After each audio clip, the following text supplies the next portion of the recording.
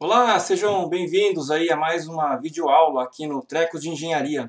Hoje vamos dar continuidade ao sistema de abastecimento de água, tá? E a gente vai começar a falar sobre a parte de consumo de água, tá? Então vamos lá. Muito bem, é... dentro do nosso cronograma aí, ontem eu soltei o vídeo sobre introdução e concepção do sistema de abastecimento de água e hoje nós vamos começar a falar sobre consumo de água, uma primeira introdução, ok? Esse assunto é bastante grande, então vamos lá. É, primeiramente, vamos pensar onde que a população consome água, não é mesmo?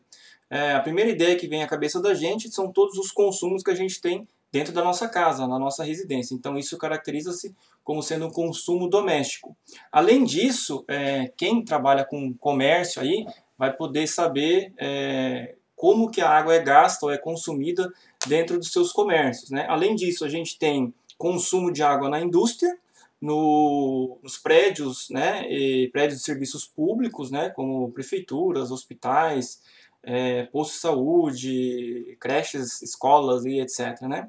E, uh, infelizmente, a gente tem que considerar um consumo pela perda, pela fuga e pelo roubo de água, né? É, é um problema sério, né? É uma, é uma área de atuação profissional bastante interessante também. É, eu recomendo para quem quiser trabalhar com água, tá? Bom, uh, o que a gente tem é, como consumo aí, tá? Uh, nós podemos aí dar uma olhada aqui, tá? É, nos livros vocês vão encontrar esse tipo de tabela aqui, ó. Então, a gente tem uso, é, consumo dentro das residências, doméstico, né, dado em litros por pessoa por dia. Por exemplo, para as pessoas beberem água e usarem na cozinha, é consumido em torno de 10 a 20 litros por pessoa, né, por residente na, naquela habitação por dia, tá? Para lavagem de roupa, a gente vai usar aí em torno de 10 a 20 litros por habitante por dia para tomar banho de 25 a 55 litros, né, incluindo é, lavagem das mãos aí, né? É, hoje em dia talvez o consumo esteja um pouquinho mais alto, né, por conta dessa pandemia aí. Ah, nas instalações sanitárias de 15 a 25, outros usos e assim por diante. Então, a gente tem muita coisa, é, muitos dados, né, desse tipo aqui nos livros e nos artigos científicos, ok? Então, é, ah, um exercício legal aqui que a gente pode fazer antes da gente continuar. Então a gente está falando de consumo, é, um exercício de curiosidade para vocês. Quanto você está disposto a pagar para matar a sua sede hoje em dia? É, e a gente está disposto a pagar muito caro, eu garanto a vocês. Então vamos dar uma olhada aqui nesse exercício aqui, ó. Calcule o preço do metro cúbico dos seguintes itens ou líquidos, tá? Vamos começar o seguinte. É, primeiro, antes não está na lista aqui, mas primeiro, quanto que custa o metro cúbico é, que você gasta, que você paga, né? O, o custo do metro cúbico que você paga aí da companhia de saneamento da sua cidade. Deixa ali embaixo nos comentários aí que eu estou curioso, né? É, tantos reais por metro cúbico. Coloca assim, coloca a companhia de saneamento e a cidade onde você mora. Aí vai ser legal. É, sabe aquelas bombonas de água de 20 litros? Então, quanto que custa o metro cúbico dela, tá? Então, a conta, ela é a seguinte aqui, ó. Opa. A conta é a seguinte, vamos lá, deixa eu ver se eu consigo fazer rapidinho a conta aqui. Então, eu tenho é, uma bombona de 20 litros, eu divido por mil, eu tenho lá, ela tem 0,02 metros cúbicos, tá? 0,02 metros cúbicos. Aqui eu pago 15 reais em uma bombona. Então 15 reais eu divido por 0,02, era isso? Então custa 750 reais um metro cúbico da bombona de água. 750 é isso. Vamos colocar aqui. 750,00 reais por metro cúbico. Olha só.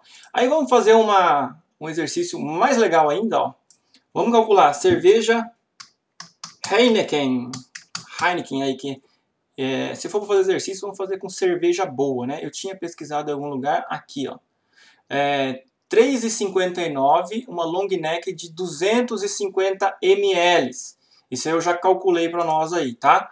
E ah, tá certo Heineken aqui? Se não tiver também vai ficar. Custa, se eu não tiver errado, 14 mil e 360 reais um metro cúbico da cerveja Heineken. Vocês acreditam nisso? A gente paga isso. Eu pago isso. Bom, depois vocês podem continuar esse exercício aí com outras coisas interessantes também. Eu coloquei leite, vocês vão ficar surpresos aí com o preço do metro cúbico do leite. É, e óbvio, vai variar, né? Se você tem água com gás, ou marca de cerveja, marca de leite, né? Suco. Vejam aí, façam esse exercício aí, deixem nos comentários aí para mim. É bem interessante. Vamos continuar aqui a nossa videoaula? Bom, continuando aqui, a gente tem, é, tem também o uso comercial. Então vamos só para a gente ter uma ideia. Escritórios comerciais, a gente tem aí um consumo aí de em torno de 50 litros por pessoa por dia tá? Pessoas que frequentam o escritório. Então você imagina aí hoje essa onda de coworking e tal, né? 50 litros por pessoa por dia, tá? Escritório comercial. Em restaurante, as pessoas passam pouco tempo no restaurante. Vejam, 25 litros por refeição, tá? Por pessoa, no caso também, né? Hotéis, né? A gente gasta aí em torno de 120 litros por hóspede por dia. Em lavanderias, hospitais, garagens, né? Posto de serviço, etc. Indústria. Indústria são dados assim meio complicados de obter, né? Mas tudo bem. Indústria, uso do sanitário, 70 litros por, por operário, né, por empregado por dia.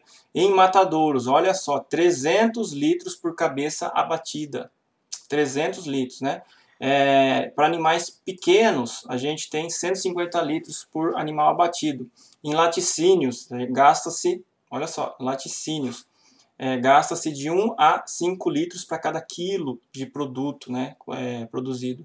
Curtumes, gasta-se gasta de 50 a 60 litros por quilo de couro, tá? É óbvio que isso vai variar. Olha só papel, galera, fábrica de papel gasta-se de 100 a 400 litros por quilo de papel produzido. É né? bastante coisa, não é? É, óbvio que as tecnologias estão mudando hoje e esses, esses valores aqui devem, devem ser alterados. De onde que vem esses valores, por falar nisso? Vem das pesquisas, das pesquisas dos mestrandos, dos doutorandos, dos iniciação científica. Então, agradeçam a essa galera, que isso é um tipo de pesquisa difícil de fazer e chata pra cacete, eu imagino. Aqui nós temos outros tipos de, de dados, né, de consumo. Isso aqui eu tirei lá do livro do Milton Tsuchiya, tá? Então, a, a gente tem aqui, por exemplo, essa tabela aqui, ó. Se a gente pega essa tabela aqui, ó, temos aí, ó, perfil de consumo doméstico de água. Então, por exemplo, assim, em bacia sanitária, a gente gasta 25 ou 24 litros por habitação, ou o consumo, vamos dizer assim, individual, né? É, 5 litros por é, dia para cada pessoa que mora naquela residência lá por bacia sanitária. Chuveiro, 230, é, 60 litros por, por dia por pessoa. É, lavadora de roupa, 12 litros por, por pessoa por dia. Lavatório, 9 litros. Pia, tanque, assim por diante. Temos uma outra planilha, uma outra tabela aqui. A gente tem uma, mais um pouco de noção. Né? É, em apartamentos, né, por pessoa, normalmente gasta-se 200 litros por dia, 200 litros por pessoa por dia. E em residência, imagino que seja térrea, 150 litros por pessoa por dia. E em escola, né, internato, 150 litros por dia. Esse internato aqui deve, deve também estar incluído as, a escola de tempo integral, hoje bem comuns. Né? Meus filhos estudam em escola de tempo integral. É, escola, externato, 150 é, 50 litros por dia, essas escola comum aí, meio período, eu acho, né? Casa popular, 120 litros por pessoa por dia, assim por diante, né? Consumo de água em estabelecimentos comerciais, também outro tipo de tabela aqui, tá? Em escritório, 50 litros por pessoa por dia, em restaurante, hotel, lavanderia e etc, tá bom? É, vamos seguir adiante. Então, a gente tem aí os usos é, públicos, onde a água é utilizada, por exemplo, em... É, isso aqui é material de livro, tá? Irrigação de jardins, lavagem de ruas e passeios, é, é, passeios, né, calçadas, assim, né? Eu, hum, eu nunca vi lugar nenhum lavando jardim, ou as fontes estão sendo desligadas, tudo pela economia e sanitário de uso público, alimentação de fontes, etc. Eu já participei de, de projetos de infraestrutura, né, de revitalização, onde eu sugeri colocar banheiro público perto de uma feira que estava sendo revitalizada aqui em Campo Grande. Eu quase apanhei na reunião, tá? Os caras não fazem banheiro público mais hoje em dia, né? Quando, quando eu era criança, meu avô trabalhava como jardineiro é, aqui numa cidade do interior, Fátima do Sul, jardineiro do, da Praça Central lá. E na época lá tinha chafariz, tinha água no chafariz, é, e meu avô cuidava da jardinagem. Lá eu via é, jardim com chafariz e tal. Hoje em dia eu não vejo chafariz, né? É, nem lavagem de rua e nem banheiros públicos, né? Os caras a educação da população está muito precária, os caras vão lá e quebram tudo. Então, eles não estão fazendo. Quando eu sugeri, os caras já quase me tiraram da reunião. Perdas e fugas de água. A perda caracteriza por ser de responsabilidade do sistema, encarecendo o preço médio da conta dos usuários, óbvio, porque quando a companhia de saneamento perde água, ela não assume esse prejuízo, ela distribui porque está dentro do custo dela. Então ela tem o custo dela, ela coloca a margem de lucro dela e distribui o preço para a galera. É óbvio que esse preço ele é limitado pelas agências de regulação, né? Então não é assim, ah, deixa vazar que todo mundo vai pagar. Não é bem assim, tá? Mas os pequenas perdas acabam sendo diluídas pelos usuários, é, sendo paga de forma diluída pelos usuários, tá? Então isso encarece o preço médio da conta dos usuários. Enquanto que o desperdício é diferente. O desperdício acontece dentro da casa do, do, usuário, então é de responsabilidade do consumidor. Se você largar a sua torneira aberta dentro da sua casa e essa água tiver passado pelo seu hidrômetro lá, girado o hidrômetro, amigão, você vai pagar a sua conta. Então isso é caracterizado como desperdício seu. Não interessa se você largou a torneira aberta, se você tomou um banho de 5 horas ou se arrebentou é, uma, uma tubulação de água na sua casa, estava viajando, não viu, você vai pagar a conta. Tá? E perdas. O controle das perdas no sistema de abastecimento de água, ela é um, um assunto muito interessante para os profissionais que querem trabalhar com o sistema de abastecimento de água, ok? Por quê? Porque no momento que um profissional detém técnicas, isso é minha opinião, detém técnicas de é, reduzir a perda de água, é, isso faz com que esse profissional seja muito procurado, requisitado daí pelas companhias de saneamento. E o salário desse cara, ele vai ser facilmente pago pela economia que ele vai trazer ao sistema. Você imagina, quanto maior o sistema, maior a perda de água, então maior o potencial desse profissional é identificar e reduzir as perdas. Né? Então o cara tem que estudar muita técnica de hidráulica né? e, e gestão pra, e automação também para atuar nessa área, mas é uma área bem interessante de se trabalhar. Tá? É, ela constitui a principal atividade operacional, uma vez que seu controle está diretamente relacionado com a receita da empresa.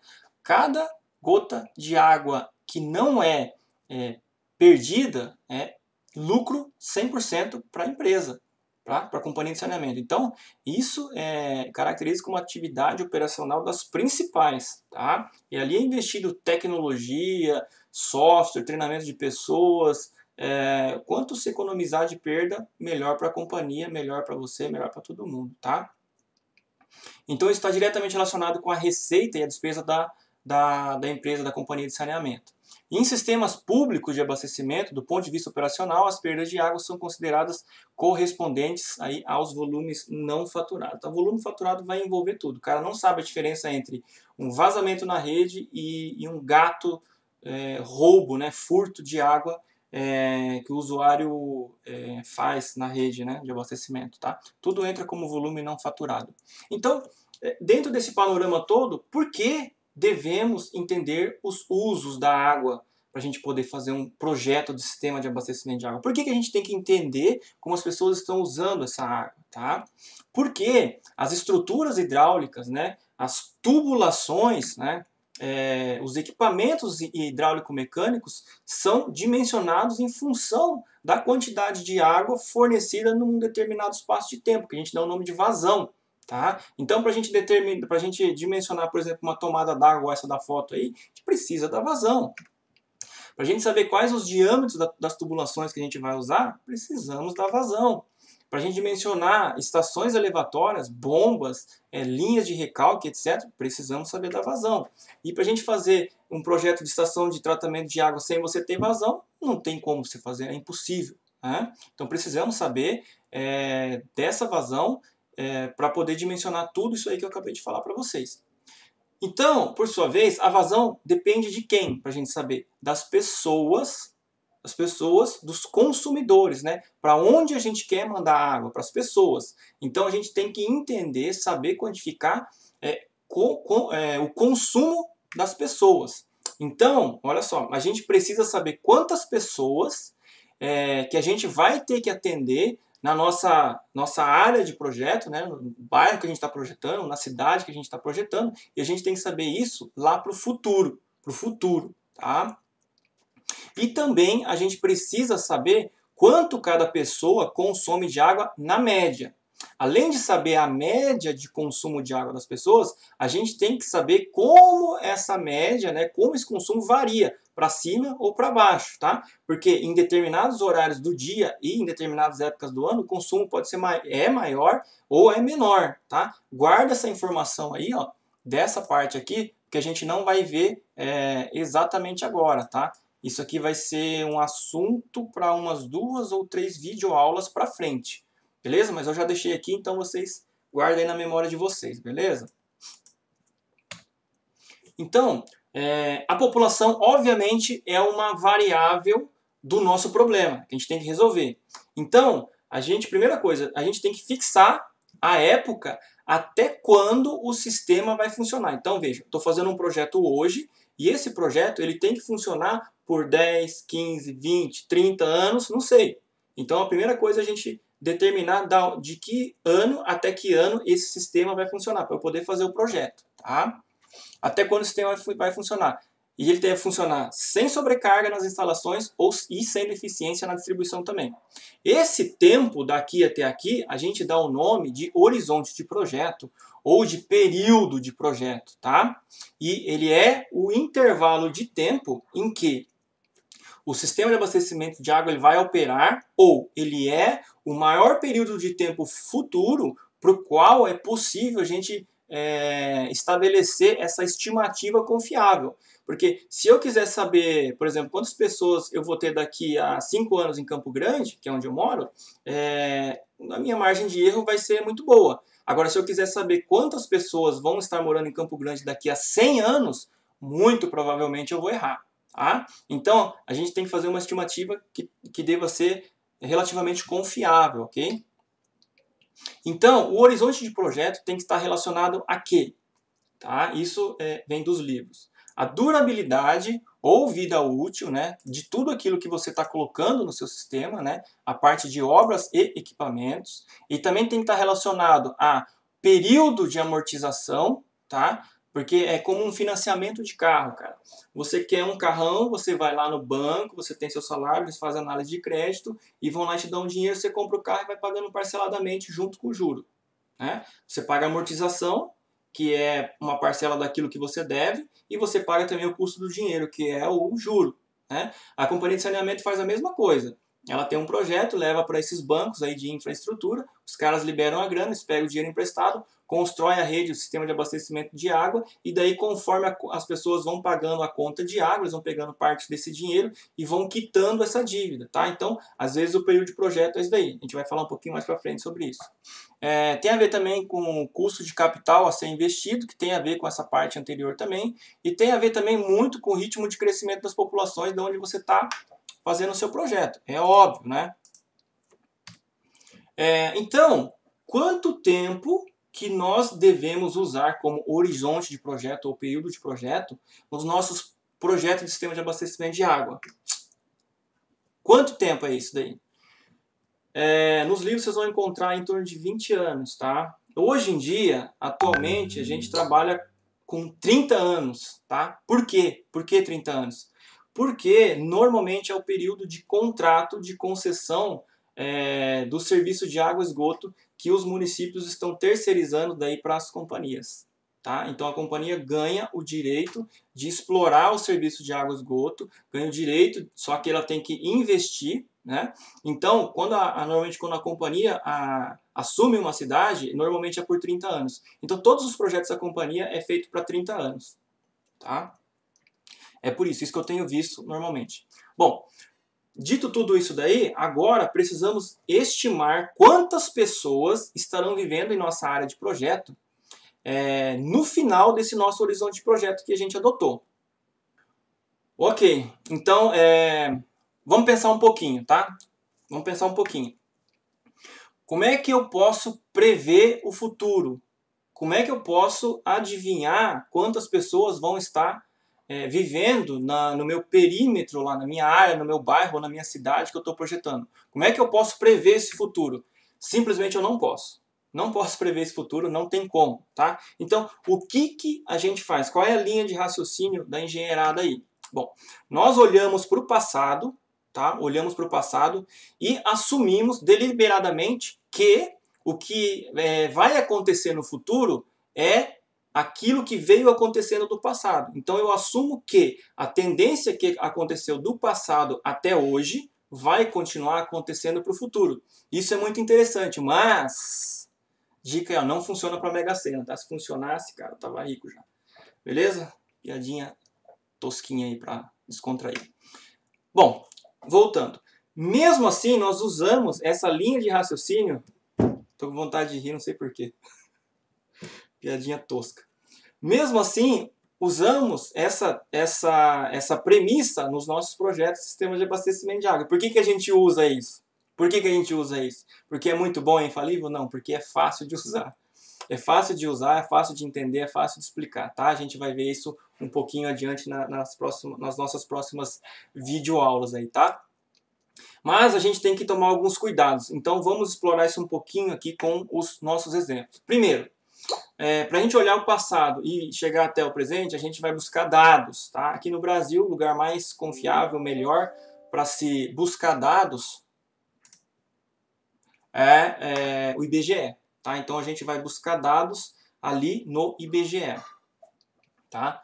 Então, é, então vamos a um exemplo aqui. Por exemplo, esse aqui é dado de Campo Grande, eu acho. Em 1991, a gente tinha uma população de 526 é, 1.126 habitantes em Campo Grande. No ano de 2004, nós tínhamos 734.164. Bom, com esses dois dados aí, ó, com esses dois dados, o que, que a gente pode esperar, por exemplo, para o ano de 2019, que passou agora aí?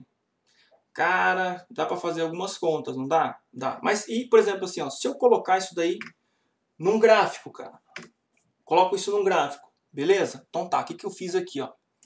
Vamos lá eu peguei é, 1991 e botei o meu dado lá bem aqui, tá? 526 mil habitantes aqui. Aí eu peguei o meu ano lá de 2004 e plotei aqui 734 mil habitantes, tá? Beleza, cara.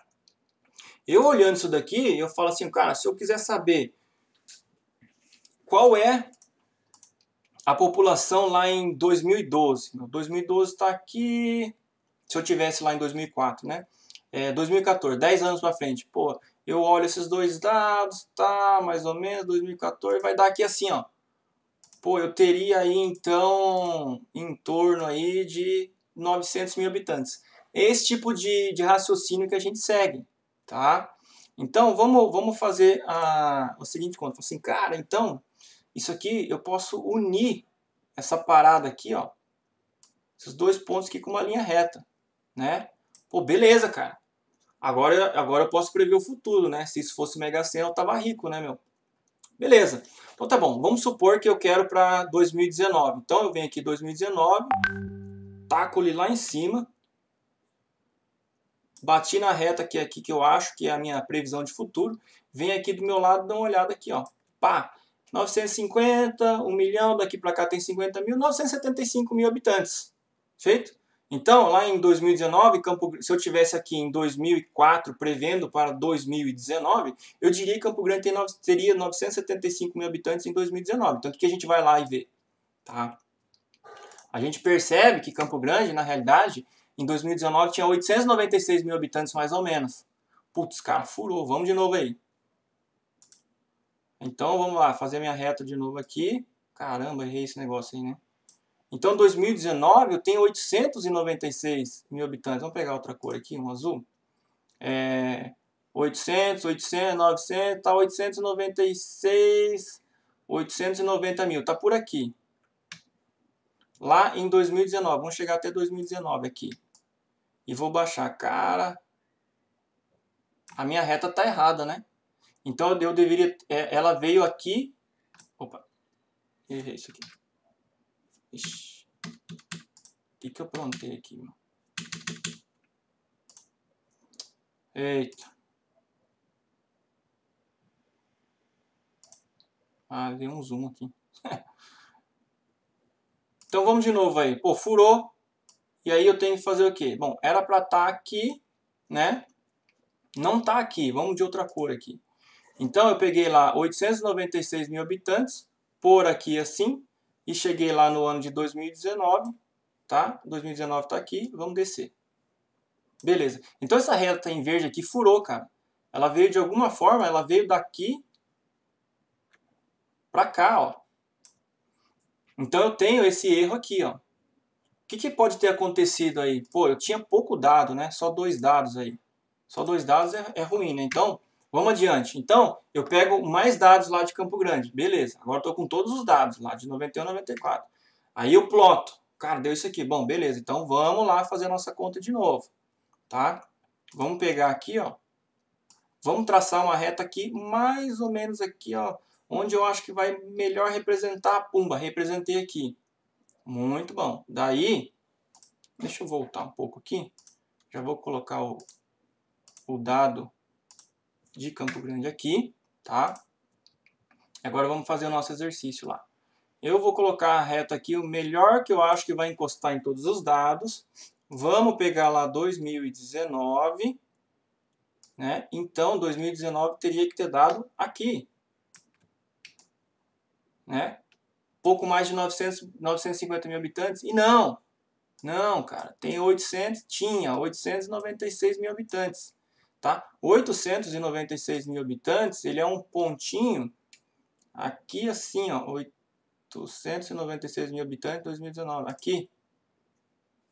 Então vejam, eu tenho tudo isso aqui de dados. O que, que aconteceu?